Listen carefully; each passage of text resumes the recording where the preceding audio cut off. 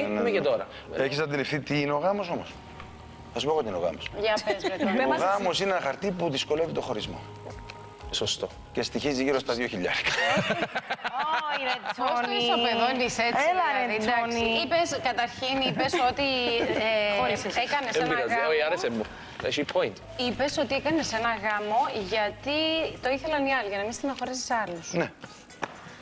Δεν θα ξαναπαντρευόσουν. Δεν υπάρχει λόγος, ρε παιδιά. Δηλαδή, πώς να σου το πω. Ε, πραγματικά ο γάμος είναι ένα χαρτί που στοιχίζει 2.500 ευρώ περίπου για να το σκίσει. Όταν θέλεις. Και όταν θέλει. Δηλαδή, δεν θέλεις, δεν θέλω. Αυτό είναι ο γάμος. Αν φτάσεις στο χωρισμό, γιατί υπάρχουν και Το ξέρετε γάμοι ότι που μου έχουν έλεγε ένας φτάσει. φίλος μου αρχιμαντρίτης. Φίλος μου όμως, έτσι, ότι στην, ε, έχει αρχίσει να έχει πρόβλημα η Αρχιεπισκοπή στην Ελλάδα γιατί το 70% των ζευγαριών που παντρεύονται σιγά σιγά χωρίζει. Τώρα στα τρία χρόνια, συνήθως στα πρώτα χρόνια του παιδιού είναι. Γιατί αλλάζουν όλες τις Αλλάζει η ζωή σου ολόκληρη. Όλες. Ε, μ, παιδιά, εγώ είμαι υπέρ του γάμου. Του γάμου. Είμαι υπέρ της οικογένειας. Έτσι.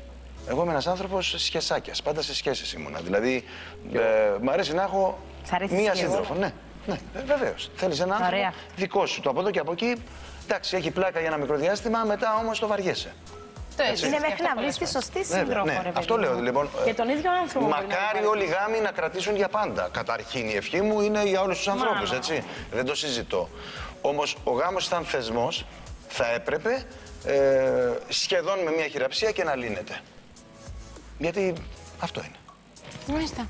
Θέλω να σε ευχαριστήσω πάρα πολύ. και Εγώ ευχαριστώ που με Και ανεχτήκατε. όλοι μας.